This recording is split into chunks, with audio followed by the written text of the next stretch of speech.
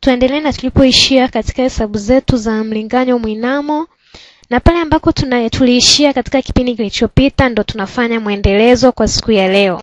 Tunaona tuliambiwa kwamba x ilikuwa ni hasi nne katika ile tulikuwa tunatumia mfano. Kwa mfano, mtu umeambiwa nyanyuka, kimbia. Kwa hiyo tunaona kwamba tutashuka mpaka kwenye asi nne, tukaambiwa na wa ilikuwa ni tatu. Kwa hiyo tunaona tukaenda mpaka kwenye tatu kama ambavyo mnaweza mkaona katika ubao wetu, na pale ambako tuliambiwa kwamba kwa hiyo unaweza ukawa unaongeza au zinapungua kama ambavyo mnaweza mkaona hapa au tukaambiwa tena x hiyo hapo inamaanisha kwamba iko inaongezeka kwa mbili. Kila inapoongezeka kwa mbili inapungua pia kwa moja.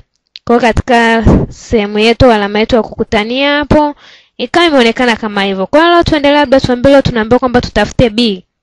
Tunaambiwa kwamba tutafute b katika ile hesabu letu la mlinganyo.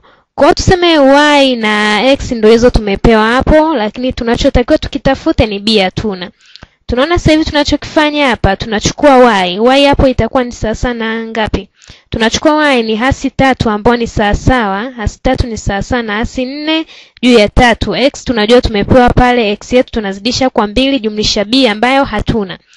Kwa hizo hasi tatu tulizonazo hapo tunazichukua tena, nne mara mbili nane, kwa inakuwa jumlisha b. Kwa hiyo b itakuwa ni sawa sana, hasi tatu tutamishia huko hasi tisa juu ya tatu tujumlishe na ngapi? Tujumlishe na nane juu ya tatu ambayo itakuwa ni sawa sawa na moja hasi moja juu ya tatu.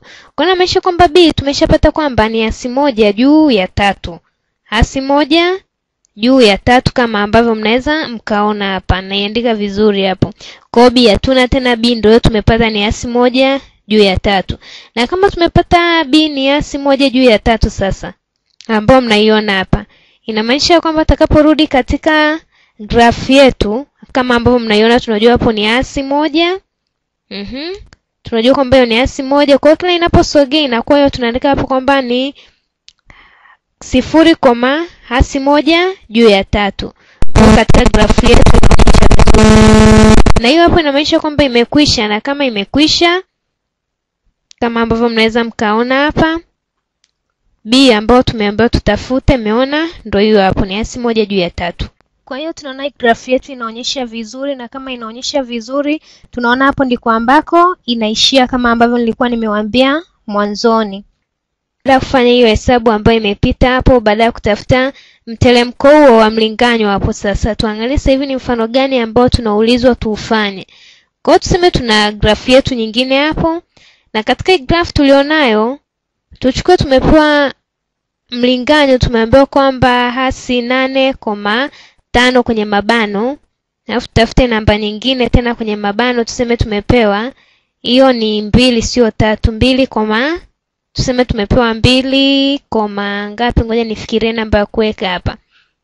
Tuseme tumepewa ni mbili koma sifuri, tuseme tumepewa ni mbili koma sifuri.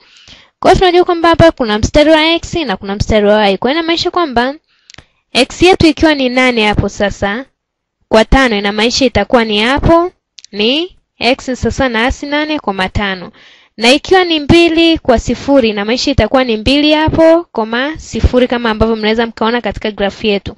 Kwa hapa natakiwa nichore mstari wa kuziunganisha sasa.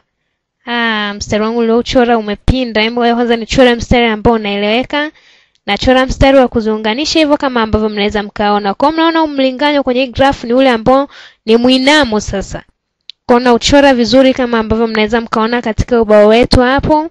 Hiyo ikiwa inaashiria ni asi nane koma tano na mbili koma sifuri kama ambavyo mmeweza kuziona hapa. Kwa hiyo mlinganyo ambao tumepewa hapo sasa, tuseme kwa mfano sasa hivi tunachoambiwa tutafute, tumeambiwa kwamba huo mteremko au mwinamo sasa tunauita ni nini? Ni m, tuseme ndo tano, tunatoa na sifuri ambazo ndo kwa y hizo, na x ni nane, hasi nane toa mbili. Kwa jibu hapo tutapata ni tano chini ya hasi kumi. Kwa hapa tunasema ni sawa sawa na nusu hasi nusu, kwa maisha kwa kila moja tunaoenda juu tunaongeza mbili, au kwa kila tunaporudi katika moja tunaongeza nini? Mbili. Na kwa mbili inabidi tuongeze nini? Tuongeze moja, kama ambavyo mnaona katika ubao wetu tunavyoongeza katika hii grafu ambayo nimewachorea hapa ubaoni.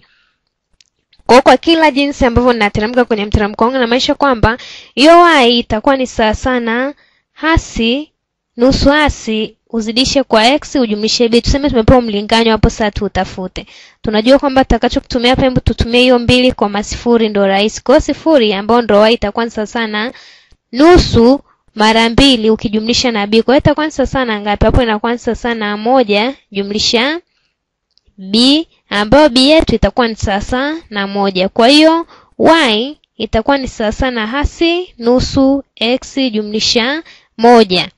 Sijui kama mmenielewa, mlinganyo wetu unakuwa hivyo. Kwa hiyo tukirudi katika grafu yetu sasa, tukirudi katika grafu yetu y tunaonyeshwa kwamba ni moja. Kwa hiyo tayari hapo unaonyesha ni moja kwenye mstari wa y. Kwa hiyo hapo ni sifuri kwa mangapi? Kwa moja kwenye mstari wa y kama ambavyo mnaweza kuona.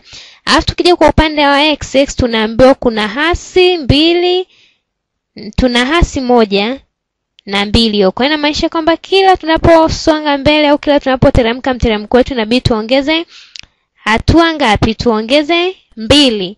Kwa hiyo kila tunakosogea katika hiyo asi moja inamaanisha kwamba inaongezeka kuwa ngapi? Inaongezeka kuwa mbili katika mteremko wetu. Kwa tusubiri katika kipindi kijacho, tutaendelea kujifunza kuhusu hizi hesabu za mlinganyo na mwinamo wa algebra.